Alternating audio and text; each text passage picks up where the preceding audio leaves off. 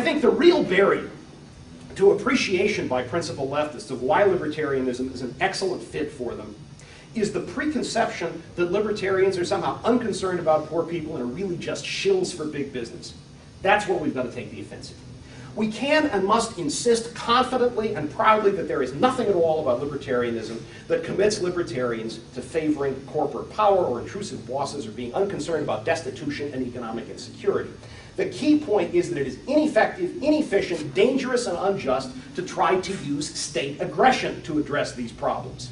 If we can help them see this point, then, on the economic front, too, principled leftists can embrace the freedom movement's agenda.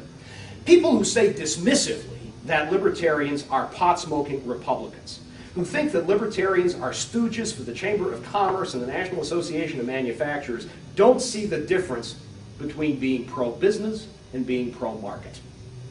Libertarians are enthusiastically pro market, but that means they're constantly on the opposite side of the fence from those who are pro business, at least if that means supporting privileges for business people as a class. If it means favoring tariffs and subsidies, patents and copyrights, the use of eminent domain to steal people's property and transfer it to developers, or the protection of favored economic interests with zoning laws and building codes and licensing requirements and all the rest of that crap.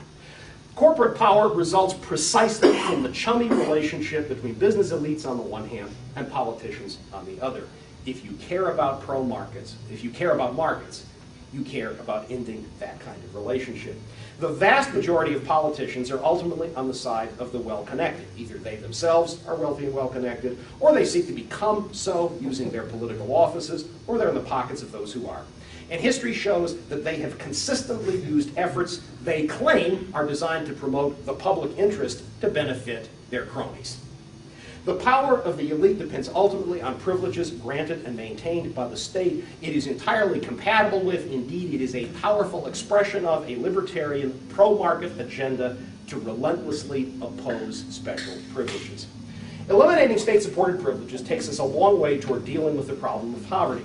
Without various barriers, think of those posed by licensing requirements and zoning laws and building codes, it would be far easier for people to provide for themselves, to be more productive, and to pay less simply in order to live. Also important, though, would be the reversal of the effects of massive theft on the part of the state. Finally, the success of mutual aid networks in the past, until they were in effect put out of business by the state, suggests that where economic insecurity and deprivation persisted, despite the elimination of privilege and the rectification of problems created by past injustice, people could succeed in caring for each other without any involvement by the state if the state would simply get out of their way. Statist leftists often see state regulation as needed to protect consumers, but of course libertarians have no problem at all with consumers' use of the legal system. Not the system of government regulation, but the system of tort law to protect themselves when they're defrauded or when they're harmed directly or indirectly by pollution. As long as people have legally recognized rights to the integrity of their bodies and their property, they can do this without the involvement of the state.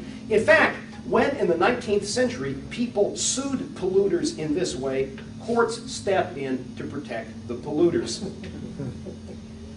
One function of government regulation today is to give polluters safe harbors, immunizing them against lawsuits by ordinary people.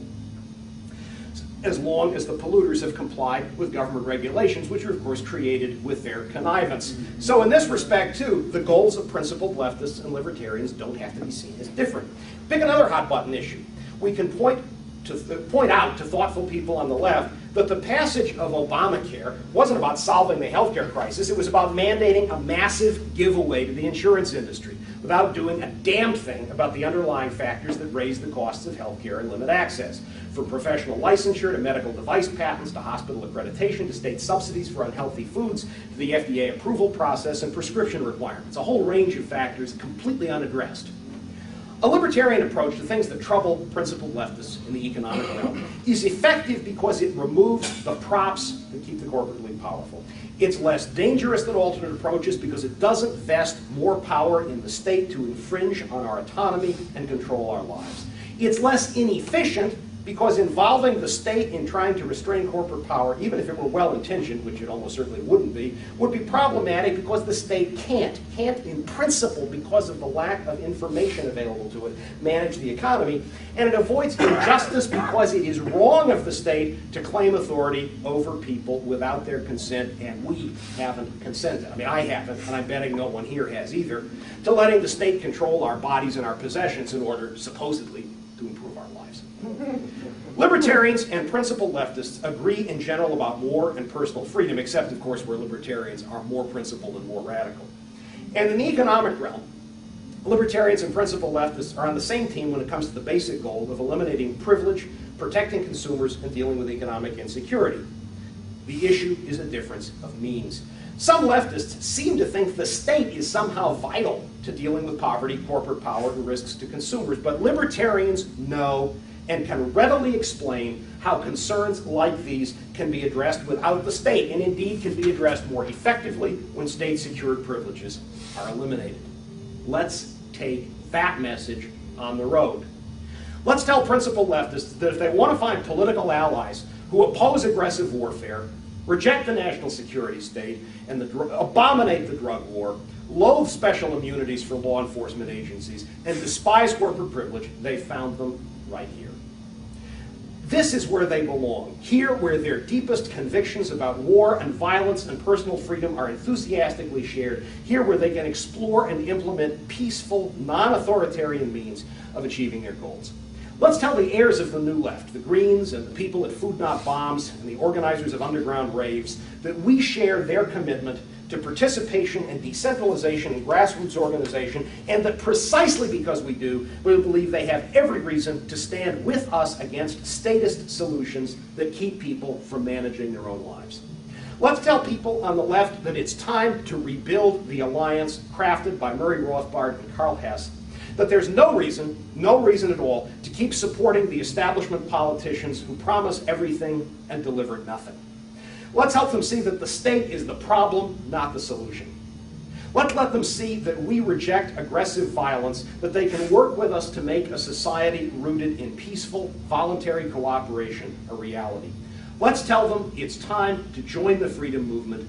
Let's tell them it's time to come home. Yeah. Oh, yeah.